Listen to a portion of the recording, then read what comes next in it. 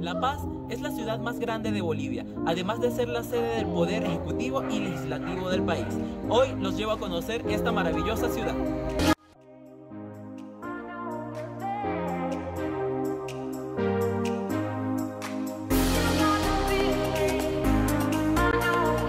Cuando se piensa en La Paz, se piensa en la capital de Bolivia.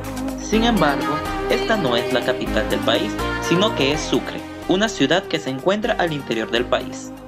Pero, aun cuando no es la capital, La Paz sí que es una ciudad vibrante, llena de cultura, colores y cosas para visitar y darse un gusto con la cultura boliviana. Hoy les mostraré La Paz, una ciudad que con sus contrastes me enamoró. En La Paz se encuentra el Aeropuerto Internacional del Alto, el mayor aeropuerto de Bolivia, que recibe vuelos directos desde Chile, Colombia, Ecuador, Perú y muchas ciudades europeas como Madrid, Ámsterdam y Frankfurt.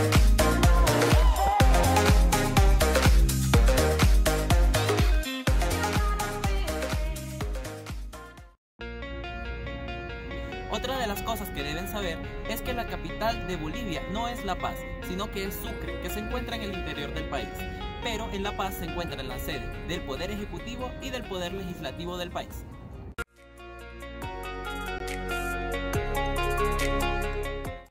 Llegué con muchísima hambre a La Paz, así que hice una pequeña parada de camino teleférico para comerme algo ligerito.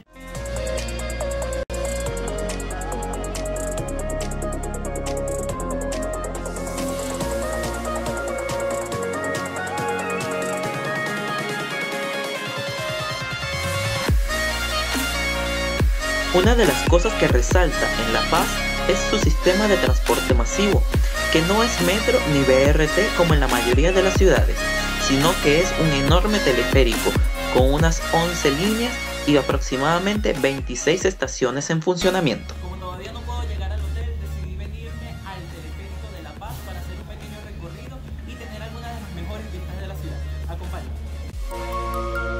Entre ellas les recomiendo la línea naranja, con espectaculares vistas panorámicas de la ciudad, y la línea blanca, que pasa a través de las principales avenidas de la ciudad.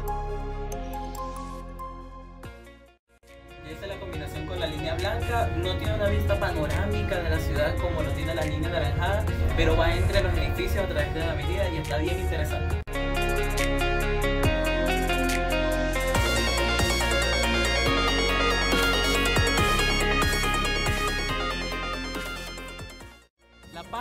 Encuentra en un valle que está muy alto, que está rodeado por grandes montañas, así que está llena de hermosos miradores como este, el mirador de Quilquil.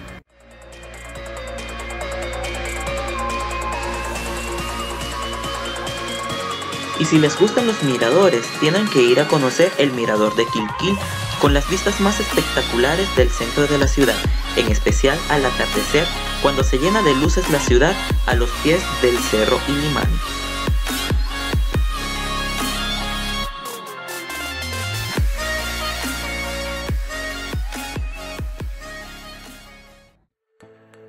El edificio más resaltante de la ciudad y del que le hablarán en todas las guías es la Basílica de San Francisco, que se encuentra un poco alejado de la Plaza Murillo en un lugar más tradicional y con una vida artística más colorida. La iglesia de San Francisco es una increíble iglesia barroca del siglo XVIII y que se tardó más de un siglo en terminarse como la conocemos ahora. En su interior se encuentran los retablos barrocos más increíbles de Bolivia, todos bañados completamente en oro.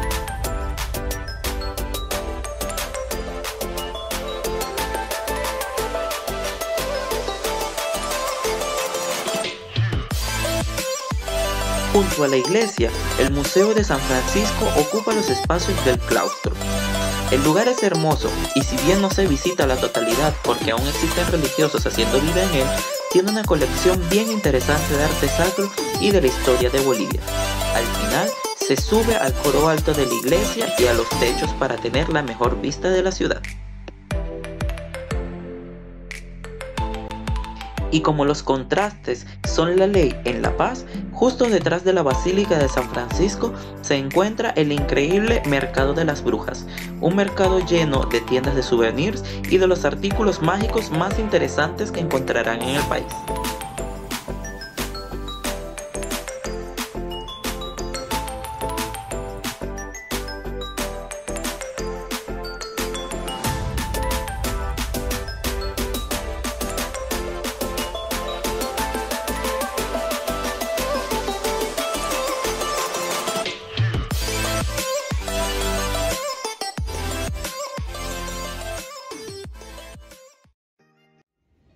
Tanto el centro de la historia como de la política en Bolivia se encuentra aquí, en la Plaza Murillo. Frente a nosotros se encuentra la catedral, el Palacio Quemado, que fue la antigua residencia del presidente de Bolivia, y el Palacio Legislativo. Detrás van a poder ver ese edificio enorme que está allá, que es hoy la residencia del presidente de Bolivia. El centro político e histórico de La Paz se encuentra en la Plaza Murillo, un lugar de lo más interesante que lamentablemente se encuentra constantemente en obras de restauración o reconstrucción, por lo que siempre verán alguna grúa o materiales por allí. La Catedral Metropolitana de La Paz es la aparentemente modesta iglesia que se encuentra a la cabeza de la Plaza Murillo. La verdad, la iglesia es una enorme mezcla de estilos que encajan perfectamente en La Paz. La modestia de la iglesia se acaba cuando se entra a ella y se encuentra un enorme espacio dividido en cinco naves en vez de las tres clásicas de la mayoría de las basílicas. El Museo Nacional de Arte de Bolivia es una de las visitas imperdibles en La Paz. El patio es una cosa que impresiona, tres niveles de columnas llenas de las decoraciones más impresionantes y un patio estrecho con una fuente hacen que sea la verdad el patio más hermoso de toda la ciudad. Y si en el mercado de las brujas era el lugar donde los habitantes indígenas compraban sus productos, en la calle Jaén los mantuanos se paseaban. Y es que separados por una autopista, el centro histórico de La Paz fue el lugar donde los españoles y sus descendientes vivieron durante la colonia. Así, la calle Jaén es una de las pocas que se han conservado intactas y es un paseo verdaderamente hermoso lleno de museos. Como me estaba muriendo de hambre, nos vinimos A comernos unas comidas tradicionales de acá de Bolivia.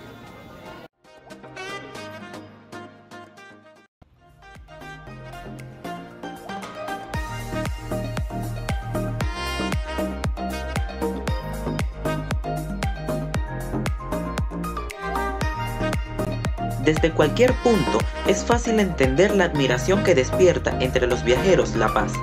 No es el punto más bonito del país, no es un pueblo, no es una ciudad. Es una amalgama de olores, sabores, colores, vistas y culturas que, aun en su eterno desorden, hacen irresistible a esta ciudad.